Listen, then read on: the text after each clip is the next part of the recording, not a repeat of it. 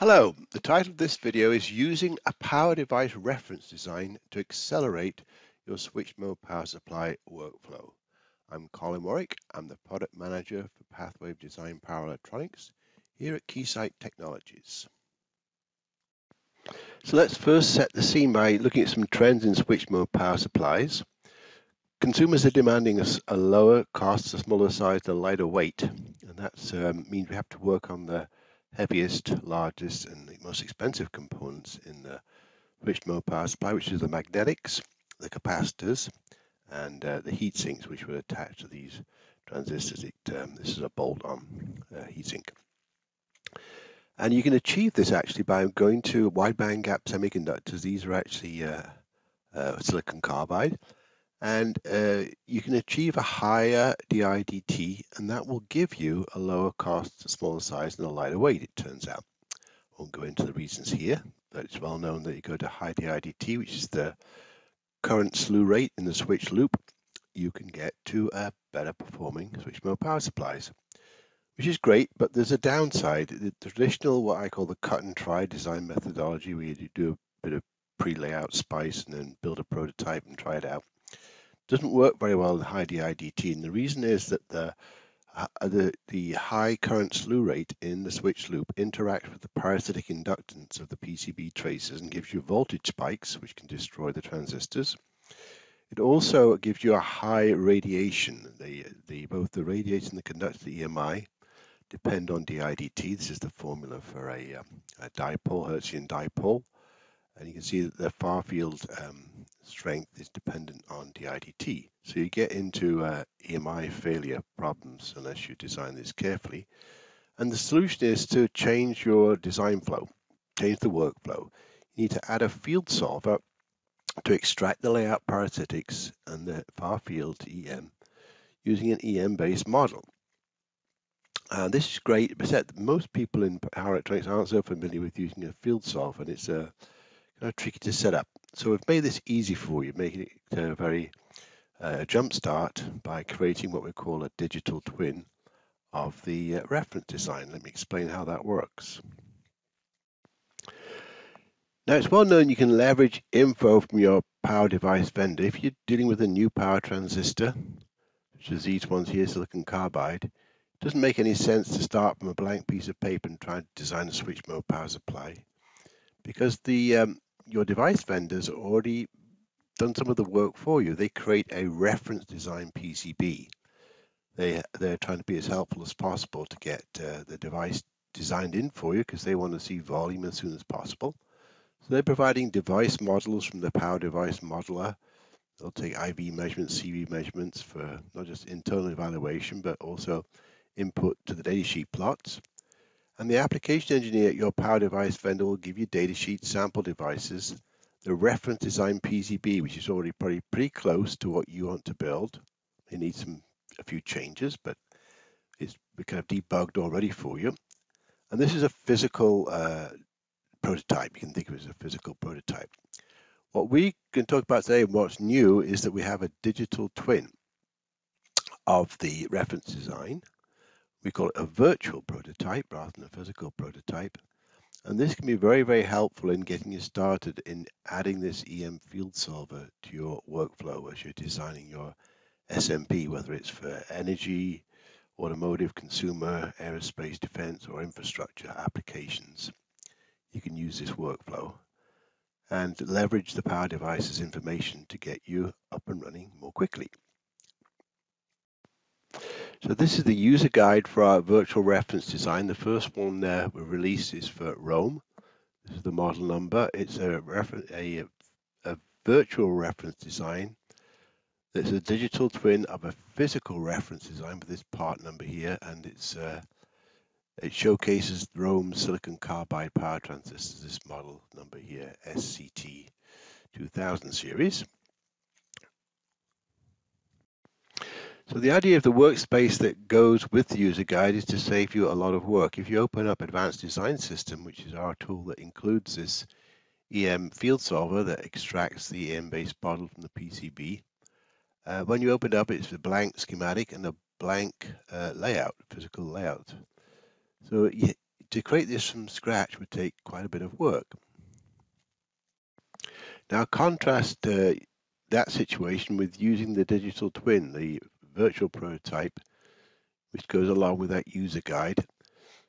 Everything's pre-built for you. The schematics uh, are created because the uh, components are loaded onto the printed circuit board. We've already imported the layout from the Enterprise PCB tool. We have a library of models of all the components and they're placed in the correct place on the printed circuit board. They have the right footprints uh, in terms of the layout of the footprint. They have a schematic, a simulation model associated with them, and a symbol so you can instantiate them uh, multiple times.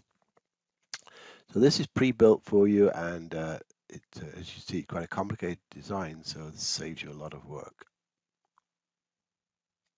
So this is all very nice, but uh, how would you use such a thing?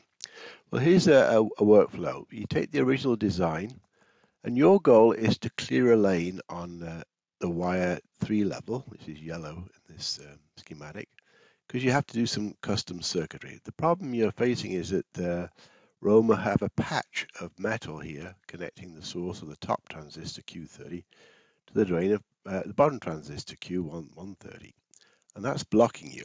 So you need to clear this lane, you need to modify the design. The ROHM reference design isn't quite what you want. You want to make some changes but what you want to avoid is introducing uh, unwanted side effects when you're making the changes. You don't want to reduce, introduce voltage spikes. You don't want to introduce EMI problems.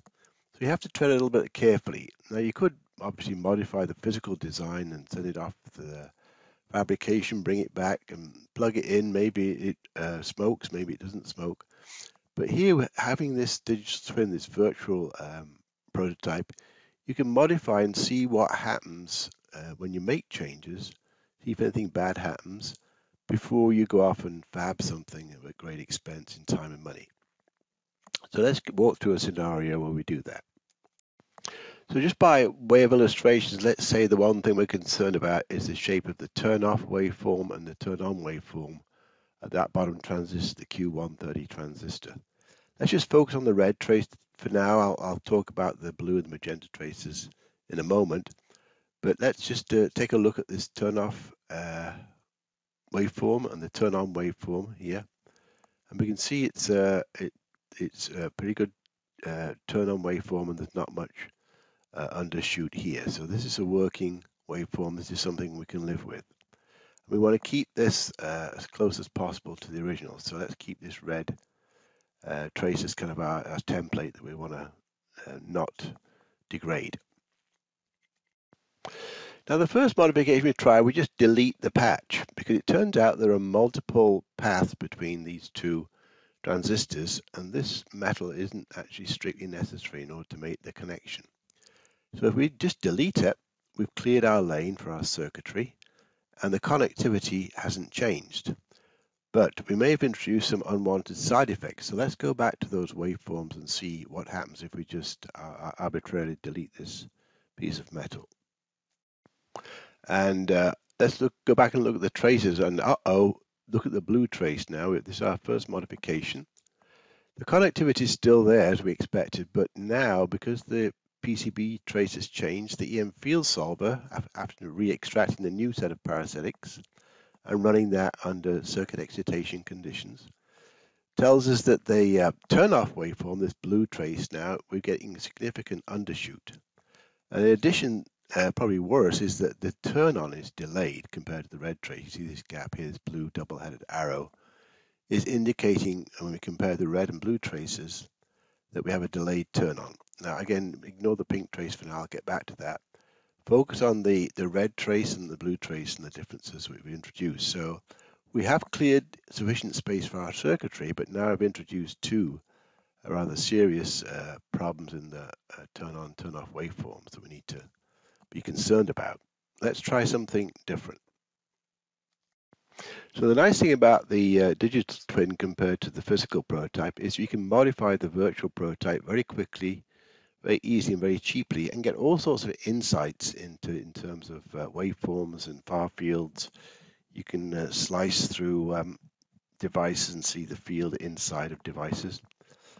And let's try out a different modification. We'll leave that patch off because I want to keep this lane clear. But now I'm going to uh, add some metal on this yellow layer here, a better return path to the uh, uh, gate drive signal. And see if we can get the waveform back to where we were without having this obstruction here of this the patch in the original design. So, so modification number two is now shown in magenta, and you can see that the undershoot is now comparable to the red trace. We've cured the uh, bad undershoot we had in modification one. And we've restored the speed. Now the magenta trace is almost the same uh, speed as the red trace, and it's much, much better than the blue trace that we had in our modification one. So we seem to have got back the performance and we still have that nice clear lane for our circuitry that we wanted. Now, in the example I, showed you, in the interest of time, I just showed you one waveform. Obviously, you can look at any waveform in the uh, design, particularly you want to focus on the, the nodes in the switch loop. The other thing you can look at in PE Pro is look at the far field emission and see how your modifications affect the emissions because you want to meet the FCC mask or whatever uh, emissions masks that you uh, need to comply with in these high DIDT uh, uh, circuits, you have to worry about radiated EMI. And so he can look at the emissions.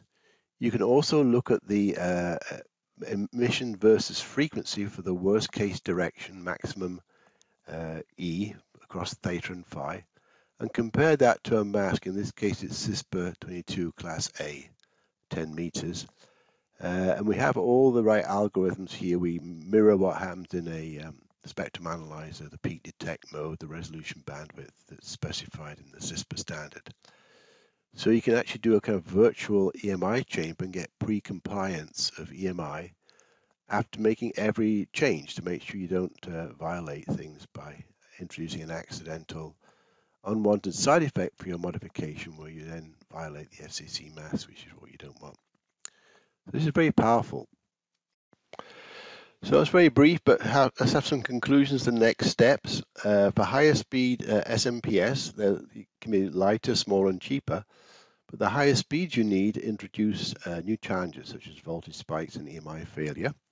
Suppression of these spikes in EMI by traditional solder and see workflow is costly, time-consuming, and non-deterministic if the supply smokes or uh, if uh, you can't see inside the packages, you can't really fix things. So a new workflow, namely a series of virtual prototypes starting from this digital twin of the vendor's uh, physical prototype. You can use post-layout simulation. It's cost-effective, it's fast, and it yields deeper insights because you have the visualization to suppress the spikes in the EMI. These virtual reference design, as I say, it's a digital twin of your power device vendor's physical reference design, lets you quickly and easily modify the power device uh, reference design without introducing unwanted side effects. So please click on the link in the description below to get started and you can download the user guide, the ADS workspace, and it contains information how to get a 30-day uh, no charge evaluation license of ADS to run the kit, the, um, the workspace, and try it out for yourself. I hope you'll try it, and I hope it gives you uh, a jump start on your next project. Thank you.